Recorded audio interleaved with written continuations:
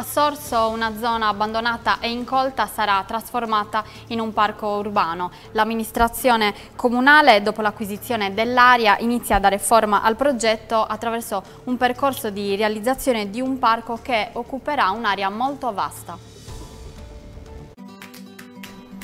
Da grande spiazzo sterrato e incolto a parco urbano, L'idea dell'amministrazione comunale che dopo l'acquisizione dell'area avvenuta a fine 2020 ha preso forma progettuale definitiva solo pochi mesi fa, con l'approvazione del progetto esecutivo, inizia oggi il suo percorso di realizzazione concreta. L'amministrazione comunale, rispettando pienamente il cronoprogramma stringente che si era data, è riuscita a portare a termine tutte le complesse procedure. Per arrivare a tempo record all'avvio dei lavori di realizzazione del più grande e moderno parco della città che si estenderà su un'area di 2,5 ettari, ricompresa tra il parcheggio del cimitero comunale Via Marina e i terreni già di proprietà dell'ente sui quali insistono gli uffici dei servizi sociali, con l'annessa palestra di Via Dessì e l'RSA.